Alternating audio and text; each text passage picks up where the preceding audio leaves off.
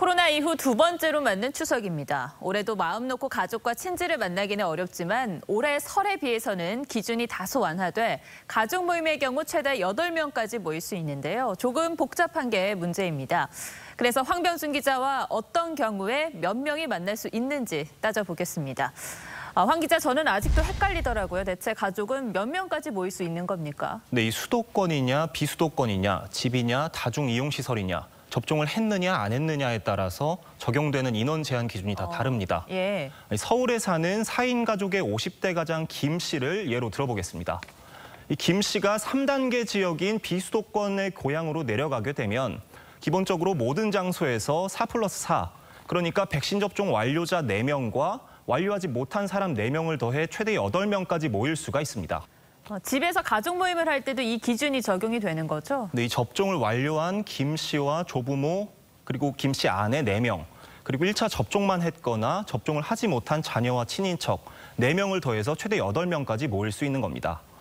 이 다만 미접종자는 4명 이하를 유지해야 합니다. 어. 이 접종 완료자가 2명이라면 미접종자는 6명이 아니라 4명까지 허락되기 때문에 최대 6명만 만날 수 있는 겁니다. 어, 그럼 비수도권의 경우에 어, 집 밖에서 만날 경우는 어떻습니까? 네, 가족과 성묘를 가거나 외식을 가는 경우도 4 플러스 4가 적용이 되고요. 예. 이 식당이나 카페에서 친구를 만날 때도 마찬가지입니다. 그럼 지금까지는 비수도권의 경우이고 수도권은 또 다릅니까? 네, 그렇습니다.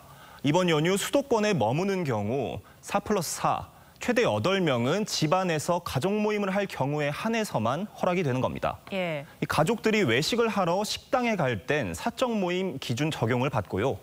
오후 6시 이전엔 미접종자 4명을 포함해서 최대 6명, 오후 6시 이후엔 접종 완료자가 4명 포함이 돼야 6명까지 모일 수 있게 됩니다. 어, 그러니까 수도권은 집을 제외하면 기존대로 4단계 방역 수칙이 적용이 되는 거군요. 어, 그런데 연휴를 맞아서 이 펜션 같은 데 놀러 가는 분들도 많을 텐데 이런 경우에는 좀 어떻습니까? 네, 이 경우도 수도권이냐 비수도권이냐에 따라 나뉘게 됩니다. 이 수도권에선 같은 주소지의 가족의 경우엔 인원 제한이 없고 이 그렇지 않으면 두 명까지만 머물 수가 있습니다. 비수도권 지역에선 접종 완료자가 4명이 있다면 최대 8명까지 가능합니다. 이 전국에 흩어진 가족들이 숙박시설에 모이려면 비수도권 지역에서 어. 그것도 접종 완료자 4명이 포함돼야 최대 8명까지 머물 수 있는 겁니다. 참 경우의 수가 정말 많네요. 이걸 좀 한 번에 정리해 놓은 표 같은 건 없을까요? 네, 몇 명이 모여도 되는지 알려주는 웹사이트가 등장했습니다. 어, 네. 이 정부가 내놓은 게 아니라 민간에서 만든 건데요. 이 클릭 몇 번으로 모임 가능 여부를 알려주는 웹사이트입니다. 이 서울 소재대학 로스쿨에 재학 중인 학생이 만든 인원 제한 알림이인데요. 모임의 날짜와 시간, 이 장소 등을 입력하면 몇 명까지 모일 수 있는지를 알려줍니다. 오죽하면 이런 사이트까지 생겼나 싶기도 합니다. 그래도 어서 빨리 이런 복잡한 계산 없이 가족끼리 마음껏 만날 수 있는 날이 왔으면 좋겠네요. 황 기자 잘 들었습니다.